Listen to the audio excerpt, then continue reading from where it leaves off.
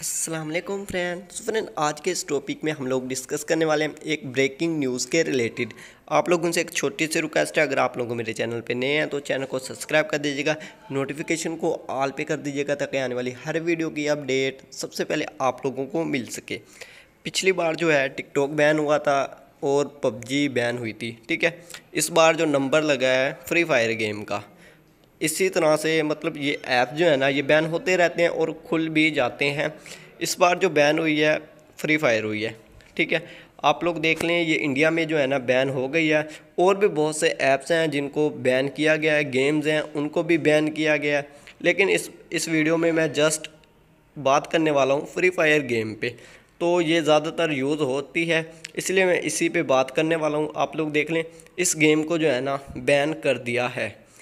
तो बैन जो हो गई है, पिछली बार जो हुई थी बैन, पबजी, उस पर जो है ट्रैफ़िक कम हो गया था। अब इस बार इस पर पता नहीं कितना होगा तो आप लोगों ने कमेंट सेक्शन में बताना है। अगर वीडियो अच्छी लगी तो वीडियो को लाइक कर देना, चैनल पर नहीं है तो चैनल को सब्सक्राइब कर दीजिएगा। मिलते हैं इंशाल्लाह नेक्स्ट वीडियो में, तब तक के लिए अल्लाह हाफ़